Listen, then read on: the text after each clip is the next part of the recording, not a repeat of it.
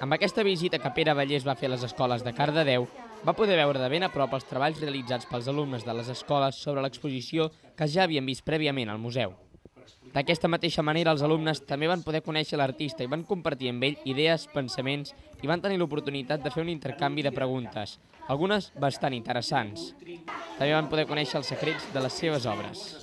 Tallar, els vaig foradar, els vaig ensamblar, vaig tallar els tubs per encaixar-ho, ho vaig pintar tot, ho vaig... Amb aquesta visita, l'objectiu del museu, amb l'ajuda de Pere Vallès, és fer un mural gegant amb la participació de tots els alumnes de les escoles i instituts de Cardedeu.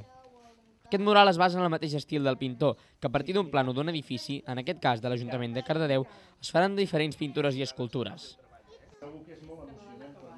Aquest mural es situarà permanentment a la Textil Gràcia després de ser revisat i acabat per l'artista Pere Vallès amb l'ajuda de la gent del Museu Arxiu Tomàs Balvei. el blau, el rosa menys